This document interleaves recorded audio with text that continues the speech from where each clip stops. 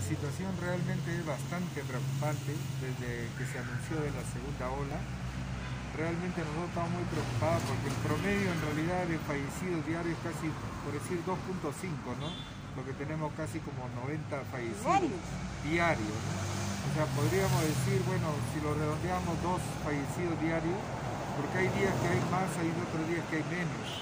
Y esta situación realmente nos preocupa bastante porque como usted sabe, nosotros brindamos ese servicio, pero el problema es que no hay oxígeno, no hay cama sushi, o sea, la gente se está muriendo por falta de oxígeno y eso es grave. Realmente. Ahora, ¿hay decir que esta segunda ola es mucho más agresiva que la primera?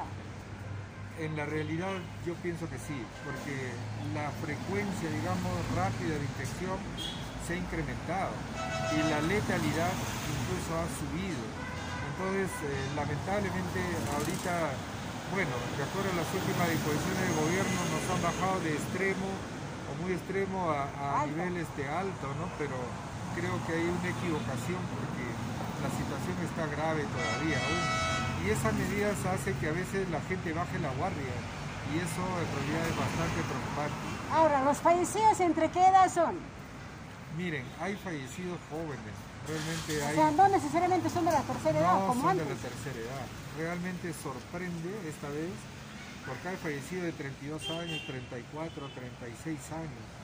Y eso no sucedía en la primera ola. Ahora están, digamos, haciendo esa frecuencia que es bastante, como le digo, preocupante. Y nosotros estamos muy preocupados en ello porque en realidad los contagios están en la calle y no sabemos quién es el que tiene COVID y cómo ya deberíamos cuidar. Ahora, ¿y cómo está la capacidad del cementerio, tanto de acá de Huaraz como de Churayó?